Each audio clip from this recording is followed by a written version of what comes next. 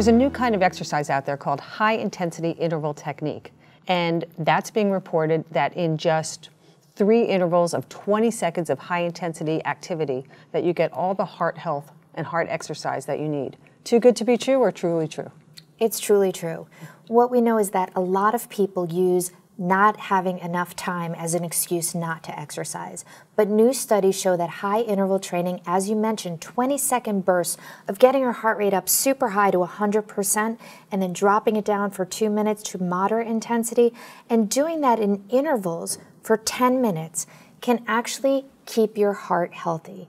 The American Heart Association talks about exercising at moderate intensity for 150 minutes per week and at this intensity, high intensity at 75 minutes per week, but we can actually recommend these intervals at 10 minutes per day. You can do that by jogging and then sprinting. You can do that by getting on a bicycle and pedaling really fast and then slowing it down. You can do that by doing jumping jacks or even running really, really fast in place.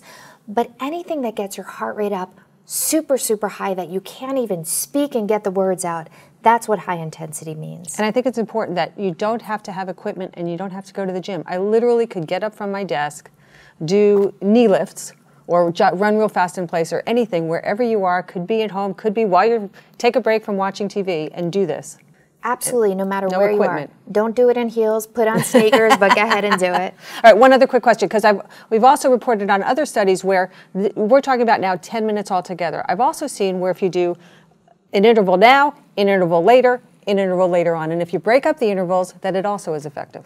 If we look at these studies, mm-hmm. it shows 30 minutes a day is super effective, and breaking it up in 10 minute increments, it helps. Mm-hmm. Just do it. We know that sitting increases your risk of cardiovascular death by 18%. So getting up and doing these intervals throughout the day can prevent your risk of cardiovascular disease and death. Okay, anyone can do anything for a minute or let alone 20 seconds. 20 seconds. 20 seconds, get going.